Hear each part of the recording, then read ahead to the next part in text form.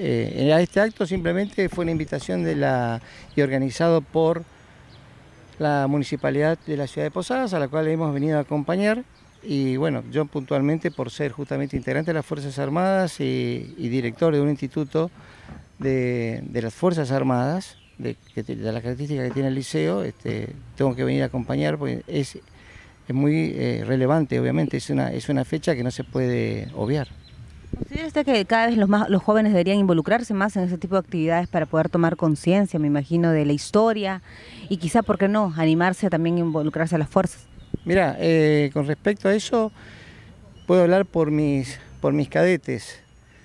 eh, por los cadetes que son los alumnos del liceo Almirante Storni. Ellos están muy involucrados y además está dentro de la política de las Fuerzas Armadas y de la institución nuestra como como institución educativa de enseñanza media de que justamente todos estos valores estén permanentemente eh, puestos